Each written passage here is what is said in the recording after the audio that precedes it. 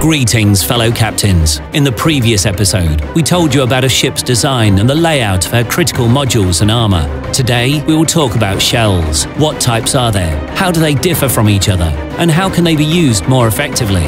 We will also explain why damage is not determined randomly in our game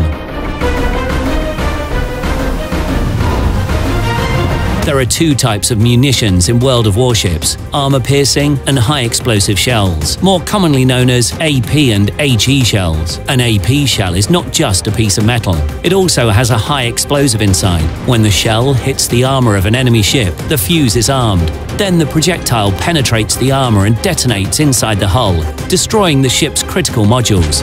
However, there is one important thing. The probability of fuse activation depends on the thickness of the armor it hits. If the armor is too thin to constitute a sufficient obstacle for a shell, the impact won't be strong enough to activate the fuse. Therefore, these shells are not good for firing at poorly armored targets. The shell can simply pierce through the ship, inflicting damage only with the shell itself and not with an explosion of its destructive and devastating filler.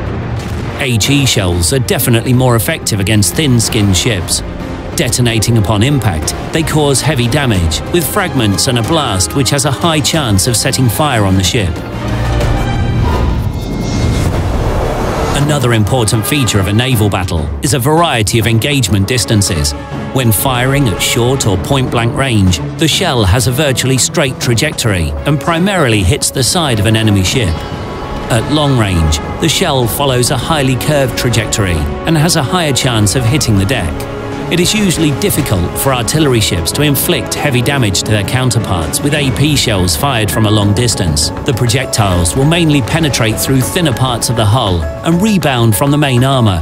For this reason, it is much easier to destroy the enemy with a direct shot from close range. However, keep in mind that the same thing can be done to you as well poorly armoured ships like destroyers and light cruisers, as well as many aircraft carriers, can be effectively destroyed with medium and large HE shells fired from any distance. Utilizing these features, the World of Warships developers managed to avoid a random factor when determining damage from a hit. The task is tackled by ballistics and a sophisticated model architecture.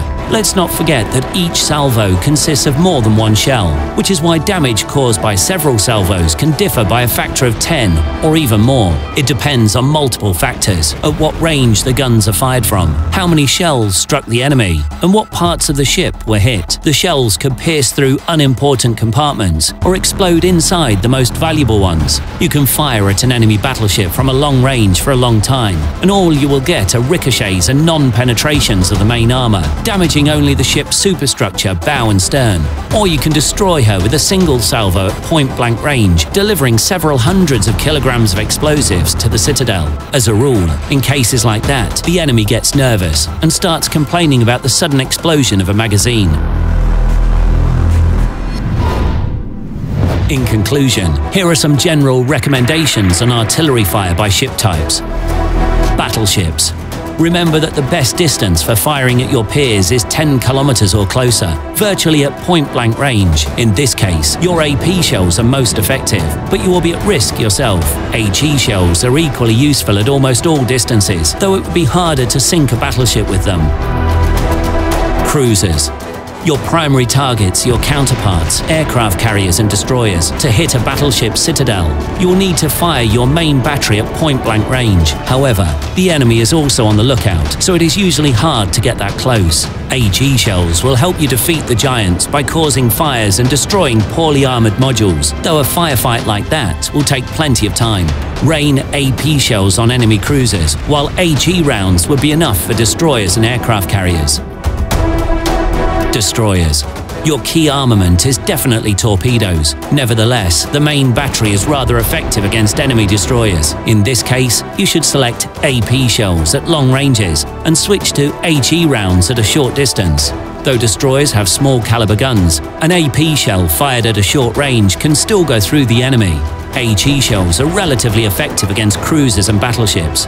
Of course, they are unable to penetrate a ship's citadel, but a hundred hits to all auxiliary compartments will knock out even the largest ship. Follow our news and subscribe to our channel. Until next time, Commanders.